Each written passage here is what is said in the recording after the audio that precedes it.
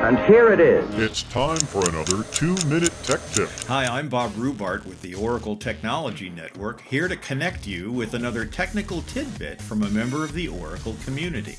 This episode features a second tip from Oracle ace Robin Moffatt. Robin's a principal consultant and trainer at Rittman Mead, where he specializes in business intelligence and data warehousing. Robin's two minutes starts now.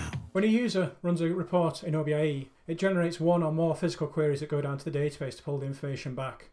And from a database point of view, all we can see is that it's OBIEE running a query.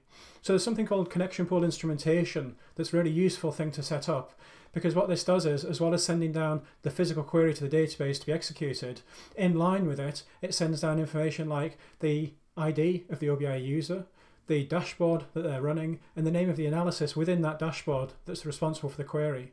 So this is really, really useful for several reasons. From a backend point of view, for the DBAs, if they see a particularly heavy query hitting the system, they can identify easily which user was it that ran it, which dashboard was it they were running, which analysis within that dashboard was running that query or generated that query. So they can then easily trace back to developers and say, this is causing us a bit of a problem, maybe it's taking undue resource on the system. From the other end of things, developers can easily identify queries that are running on the database. Maybe they're developing reports, they want to check that things are performing as they ought to be. So they can easily see within Enterprise Manager, for example, the, the SQL that's generated from the query that they're running.